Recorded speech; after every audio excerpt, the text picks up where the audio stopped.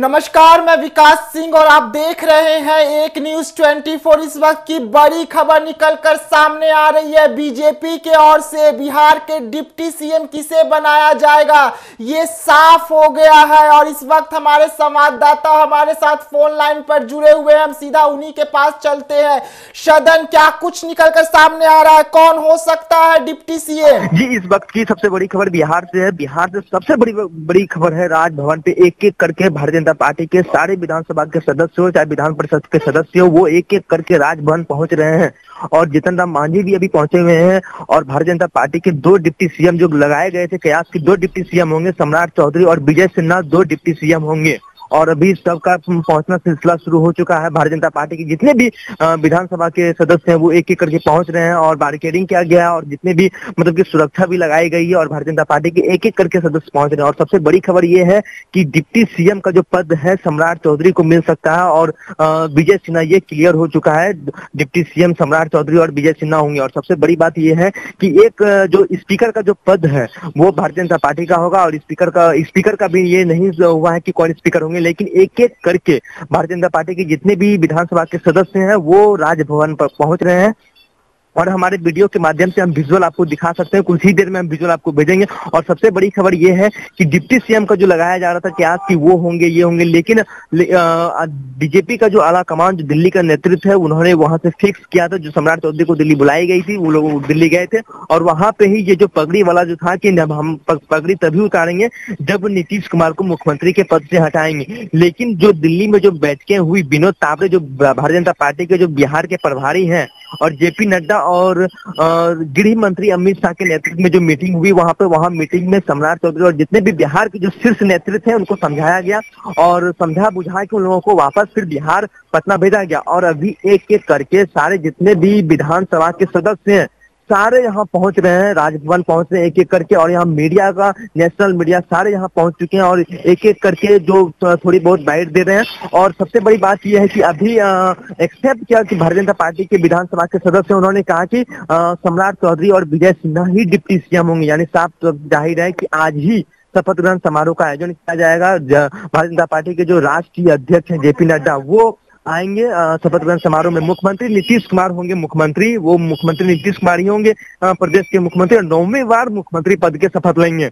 और deputy CM जो जो पहले जब 2020 में जब भारतीय जनता पार्टी की सरकार और जेडीयू की सरकार अलायंस करके बनी हुई थी तो उस समय मुख्यमंत्री नीतीश कुमार बने थे और डिप्टी सीएम रेणु देवी और तार किशोर बने हुए थे। लेकिन ये दोनों जोड़ी को हटाकर, अब जो आरजेडी के साथ फिर जो अलायंस किया था, उसके बाद से जो अलायंस इस बार जो भारतीय जनता पार्टी के साथ हो रही है, उसमें से सबसे बड़ी खबर ये है कि भारतीय जनता पार्टी के दो बिहार विधानसभा, विधान परिषद के सदस्य और विधानसभा के सदस्य जैसे विजय सिन्हा है, वो बनेंगे डिप्टी सीएम और डिप्टी सम्राट चौधरी डिप्टी सीएम बनेंगे। इस वक्त की सबसे बड़ी खबर है बिहार से एक एक करके जितने भी भारतीय जनता पार्टी के सदस्य हैं, वो राजभवन पहुँच रहे हैं विकास।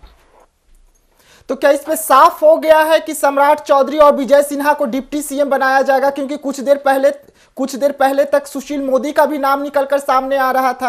जी सुशील कुमार सुशील कुमार मोदी का कल दिन भर उनका नाम उछल रहा था कि पुराने ही साथी फिर से नीतीश कुमार और सुशील कुमार मोदी बिहार के कमान संभाल सकते हैं। भारतीय जनता पार्टी की तरफ़ से डिप्टी सीएम सुशील कुमार मोदी हो सकते हैं। लेकिन सम्राट चौधरी, जो पगड़ी, जो उन्होंने, जो कहा जाता है कि मुरेठा बांधे हुए हैं और मजदूरी कर रहे हैं, तभी हम ये मुरेठा उतारेंगे जब नीतीश कुमार को गद्दी से नीचे उतारेंगे। लेकिन सबसे बड़ी बात यह है कि उन्हें जब दिल्ली बुलाया गया, दिल्ली जब मीटिंग हुई, विनोद तावड़े के नेतृत्व में भारतीय जनता पार्टी की जो दिल्ली के शीर्ष नेतृत्व है देश के जेपी नड्डा हो चाहे गृह मंत्री अमित शाह उन्होंने समझा बुझा की क्योंकि सामने लोकसभा चुनाव है लोकसभा चुनाव में मात्र तीन महीना बचा हुआ है दो महीने दो महीना बचा हुआ है मार्च में आचार संहिता लागू है अप्रैल में चुनाव है इसको लेकर भारतीय जनता पार्टी नहीं चाह रही है की हमें सीट का नुकसान हो। चालीस लोकसभा का सीट है, उसमें कोई भी पार्टी नहीं चाहेगी कि हमें नुकसान हो सीट का। तो जिसमें कि बताया ये जा रहा है कि डिप्टी सीएम, ये तय हो चुका है कि डिप्टी सीएम सम्राट चौधरी बनेंगे और डिप्टी सीएम विजय सिन्हा बनेंगे। एक एक करके हम विजुअल आपको दिखाने में और सक्षम है लेकिन एक एक करके भारतीय जनता पार्टी के जितने भी सदस्य हैं,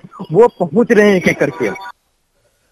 तो क्या वहाँ पे सम्राट चौधरी या विजय सिन्हा भी पहुँचे हुए हैं राजभवन? सारे सारे सारे भारतीय जनता पार्टी के जो विधानसभा परिषद, विधानसभा के जो भी, जो विरोध में, विरोधी दल के नेता थे, जो भी जितने भी, और सारे एक एक करके पहुँच रहे अपने काफिला के साथ, यानी ये तय हो चुका है। हम नहीं दिखा सकते एक बार फिर से मोदी सरकार, यानी एक एक करके बिहार विधानसभा के भारतीय जनता पार्टी के जितने सदस्य हैं, वो राजभवन का रुख कर चुके हैं। राजभवन एक एक करके गाड़ी घुस रही है। सारे स्कॉट काफिला यहाँ पे भारतीय जनता पार्टी की एक एक करके गाड़ी एंट्री कर रही है।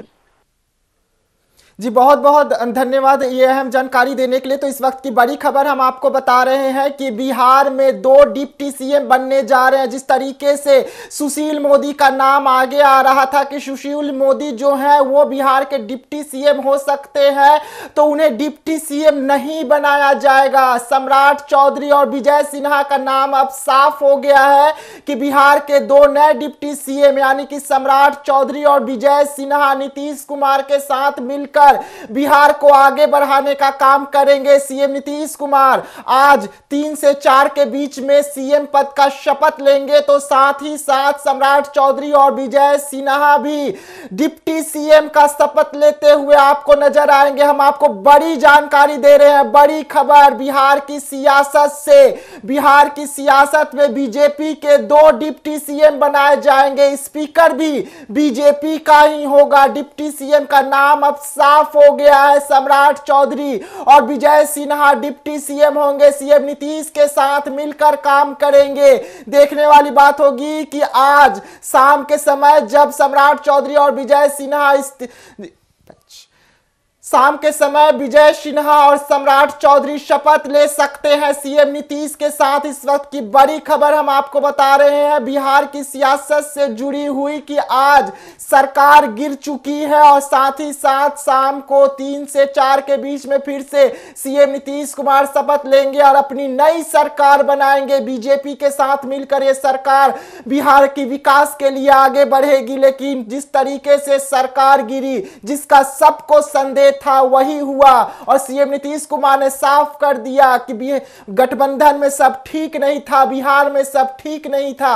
और यही कारण रहा कि मुझे इस्तीफा देना पड़ा। लेकिन जिस तरीके से कयाशों का दौर लगाया जा रहा था कि सुशील मोदी डिप्टी सीएम बनाए जा सकते हैं तो उनका नाम अब साफ़ नहीं हुआ और नाम निकलकर दो नए नाम आ गए। सम्राट चौधरी और विजय सिन्हा का मोहर लग चुकी है। सम्राट चौधरी और विजय सिन्हा बिहार के डिप्टी सीएम बनाए जाएँगे तो ऐसी तमाम जानकारी के लिए आप बने रहिएगा। एक न्यूज़ ट्वेंटी के साथ हमें दीजिएगा इजाज़त। धन्यवाद।